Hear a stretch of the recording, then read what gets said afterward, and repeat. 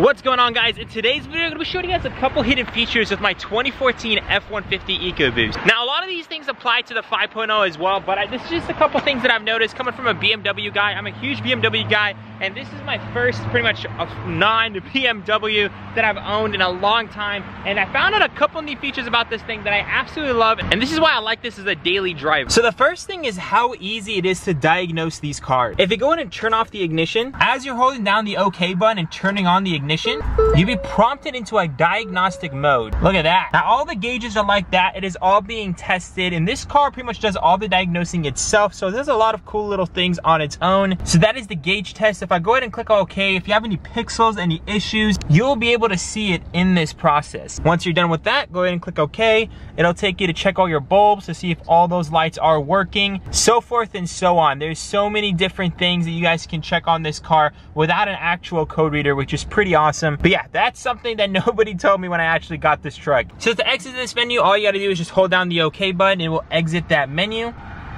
just like that. The next thing I love are these cup holders. I have a lot of drinks that just don't fit in this. Some of my coffee mugs, if you guys have a Gatorade, stuff like that, they just don't fit in these. And you don't have to get anything special. You literally just pull this out and it's a cup holder. It's a cup holder within a cup holder. I just think that's pretty awesome. You can just literally take out the rubber thing, you fit a bigger drink in there. Um, so yeah, I just think that's a little neat thing that's pretty cool. The next thing is actually back here. If you go ahead and remove this rubber piece and take out that bolt and that bolt, they are held down by seven millimeters. So just go ahead and remove both sides real quick. Then once you get the two screws out, you pretty much just push this thing back until it pops off the back here. Take this entire piece off. Some of you guys might have speakers, some of you guys might not. But uh, for those of you guys who don't have speakers, you actually have some USB ports down here. In my model, I do not, but that's something that I did find out that some models have. So, uh, so you can check in here. You have a couple more USBs. So if you don't actually have the sound system, you can actually set up like a navigation or something in here and you can pre-wire it right into there. So you don't have no extra wires, even like a radar detector, or anything like that. They have USB ports and power grounds right back there. Some of you guys might have that though, so it's definitely worth mentioning. Another little cool feature is that these are automatic. It actually says on the glass itself that they are power window. But what I didn't actually know is that they actually fold if you pull this back. If you pull this button back, both sides actually fold in for some tight spots. So uh, that's just, I mean, I'm pretty sure that was somewhere in the manual, but not something that I honestly noticed myself. And if you go ahead and just click it back once again, it'll go ahead and unfold. So I think that's pretty cool. Some models have that. I think the XLTs do, so that's pretty cool. Now, coming from a BMW, I did notice this. So I don't know if a lot of you guys know what this is, but this is basically a garage door opener. I have one right here. I am currently renting the house I'm currently in, and I don't really want to program these to a house. I may not be staying there for long, but yeah, basically, you have a garage door opener. You can program it to multiple garage doors, literally your main house, your second house, and your, your summer house, whatever it is, or like a garage to your front gates or whatever that may be.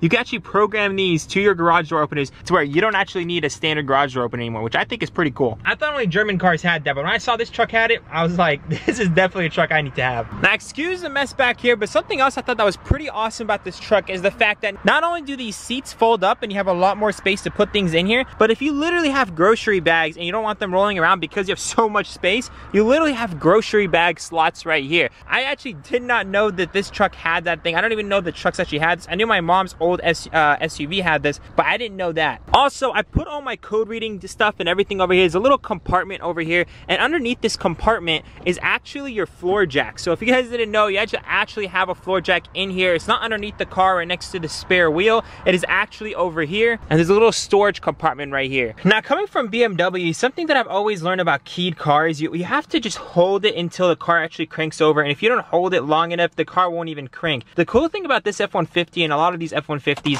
when you put the key in here and you just click it once, the car fully cranks over. You just have to activate the process and the car does the rest. That's something that I noticed with this truck that I love about it. Like when I had my older Corolla, I had to hold the key over and if you hold it for too long, it starts making some weird sounds in the engine bay where the starter is just doing something where it shouldn't. So I like that. I like the fact that you just put the key in there, you just twist it once, start up the car and you can take your hand right off of it. It's a quick and easy procedure and I love it. The next thing is, because I'm all about diagnosing cars, is actually working in your engine bay. Having a truck, it makes it really hard to get up all in there and get your dipstick. I can barely reach my dipstick and I'm about 6'2". So something I did notice was actually this little stepping area right here. I thought this is me just being smart, but actually Ford designed it in a way that you could put your foot right in here. And obviously this is the frame, so it supports your entire body. And now you can get into here, check the oil, do whatever you want to do in here instead of actually having a ladder or stepping on your tire or anything like that. So uh, yeah, I find that to be really, really, really convenient. I thought that was me just being smart, but a lot of other people said that they've been doing the exact same technique. And this is what actually Ford does at their dealership. And the last one is the one with the key. So BMWs, you can never, ever, ever start the car from the key.